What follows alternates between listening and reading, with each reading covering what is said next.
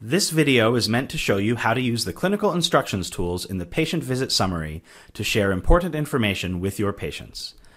You can use any generic chart component to share clinical instructions using the patient visit summary report and also through the patient portal. This is particularly useful for patients who are managing any chronic condition like asthma or ADHD, but really it can facilitate communication with patients with any condition. Right now, maybe you just communicate instructions verbally or write out some separate notes. But with clinical instructions in PCC EHR, you can make the instructions part of the chart and print them out directly from the EHR or make them available online at any time. First, you'll need to configure the patient visit summary and the patient portal to include clinical instructions. You do this with the patient visit summary configuration and patient portal manager tools respectively.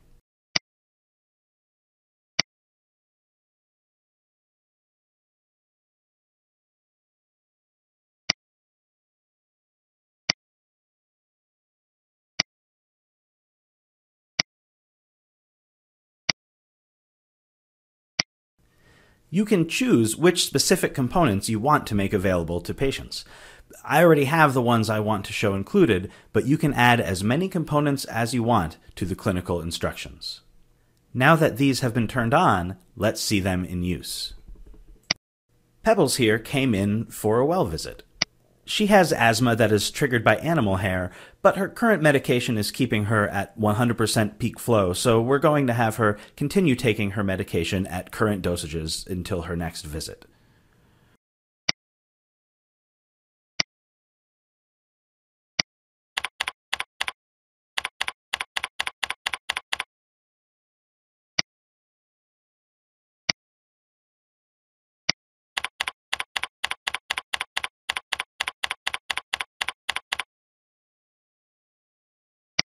Now, when I go to print the patient visit summary, these new clinical instructions will show up on the report. Also, since I turned on this feature for the patient portal, Pebbles' parents will be able to refer to these instructions from their smartphone or computer. Now, this is just one simple example of clinical instructions in PCC EHR. You can create any chart note component and include it in the clinical instructions. The sky's really the limit. For more information about clinical instructions or how to create chart note components, visit learn.pcc.com.